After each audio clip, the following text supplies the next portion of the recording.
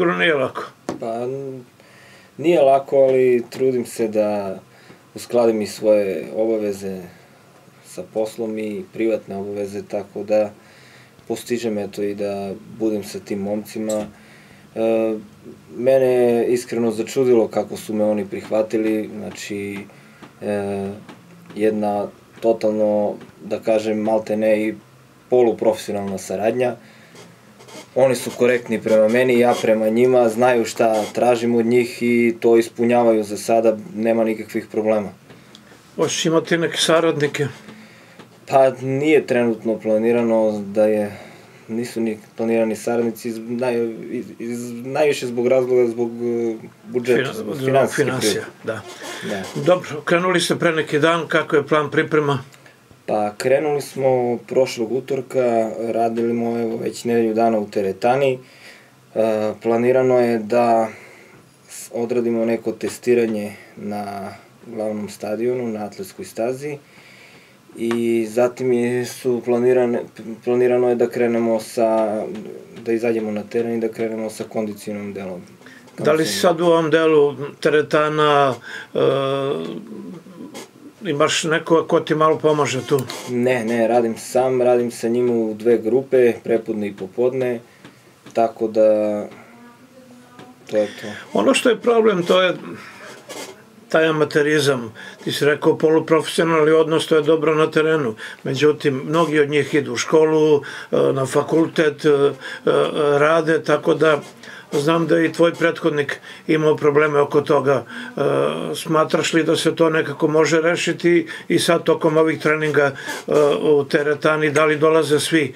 Jer je za trenera veoma važno da ima ekipu na, e, pred sobom. Pa tako je, ja sam razmišljao dugo kako da rešim taj problem i malte ne sam žrtvovao sebe. E, ja sam ih podelio u dve grupe, oni koji rade prepodne dolaze popodne, oni koji rade popodne dolaze prepodne ili imaju sve obaveze, tako da ja kad sakupim imam na jednom treningu dnevno imam oko 23 igrača. U, odlično. Tako da na spisku su 29, e, trenutno čekamo, čekamo da se vrati Uroš Đurić da krene i on, on je na Koponiku sa fakultetom i da krene i on zajedno sa nama, to je to. Reci mi, obično se u januaru traže neka rešenja, e, novi igrači, da ne kažem pojačanja i tako dalje. Da li ima, e, e, kakav je odnos sa radničkim, ima li tu mogućnosti da se nešto dobije iz drugih klubova? Pa, ovako, za sada smo doveli dva igrača iz futbolskog kluba Padež iz Petrovca. E sad, da li će biti pojačanja, to je na njima da, da pokažu. To u pitanju su uh, Vladimir Matejić i Robert Petrović. Uh, otišli su iz kluba, to da napomenem, da Dimitrije Mijalković i Martin Đunić. Tako da malte ne, roster je ostao isti. Čekamo da vidimo, pokušavamo da angažujemo golmana. To nam je jedno goruće mesto u trenutno... To je svima goruće mesto Da. i radničko. Tako da pokušavamo tu da nađemo neko rešenje jer e, trenutno dva golmana koje imamo, jedan je povređen, a jedan je već u godinama i neće moći da iznese samo ovo prvenstvo. E, imate li neku ideju da tražite još, eventualno e, dva su otišla, ali s obzirom na to da e, je pozicija na tabeli dosta složena, Tanasko Rajić mora da bude mnogo jači i mnogo bolji na proleću. Pa gledajte, mi imamo... Više municije da imate. Više džebana, da. Da. Pa gledajte, mi imamo sasvim dovoljan broj igrača. Nama je problem verovatno bio što su nam ključni igrači bili povređeni, tako reći nosioci igre, tako da sad kad se oni budu vratili, ja se nadam potpuno spremni i fit i be, nepovređeni, znači da mogu da, da pruže 100% na terenu, mislim da nema potrebe za novim pojačanjima. E, bilo je nekih kontakata... Samo neko ovi budu redovni. Da, Da. bilo je nekih kontakata, bilo je neke priče, ali nije, nije, to, nije se ništa desilo da dovedemo nekog da kažemo da je, smo baš doveli pravo pojačanje.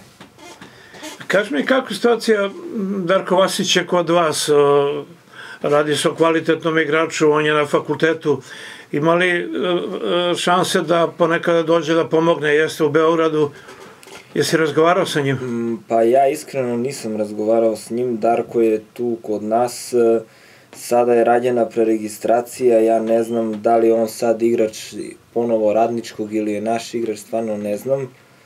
Ali, ali bi vam dobro došao? Da, sigurno da bi nam dobro došao, ali on stvarno, dečko je redko kad u Pirotu, znači samo kad su neki praznici, tako da ne bi mogao da nam pomogne. Da. Kaži mi kakav dalji plan do početka prvenstva? Uh, pa u planu je znači da krenemo sa kondicijnom delom priprema da uh, steknemo tu kondiciju potrebnu za ovo takmičenje. U planu su i nekoliko prijateljskih utakmica. Jeste to već perfekturirali ili dogovarate? E, jesmo, nismo, ne znamo samo protivnike, ali otprilike zna se, znaju se datumi i najverovatnije će jedan protivnik biti, to je već ugovoreno, Timočanin iz Knjaževca, to će biti tamo nedelju dana pred prvenstva najverovatnije. Prvenstvo kad počinje? Pa prema nekim najavama trebalo bi da počne 9. ili 10. to je vikend Još uvek se ne zna. Marta, da, još uvek se ne zna. E, ja iskreno smatram da je to rano, ali kad sve presaberem, s obzirom da se za uskrs ne igra, mi bi znači završili prvenstvo nekad krajem juna da, da se ne krene da. ovako rano. Gde trenirate? Trenutno treniramo u teretani Kej. Ne, gde ćete trenirati dalje? E, trenirat ćemo najverovatnije, pa sad zavisi od vremenskih uslova na našem terenu tamo kraj Kasarne i najverovatnije na Keju. Da, sigurno kondicija. Mm. Dobro, Marko, pratit ćemo treninge. E, kad krenu utakmice, naravno vidjet ćemo kako to ide. Imate težak, e, da tako kažem, posao u nastavku prvenstva.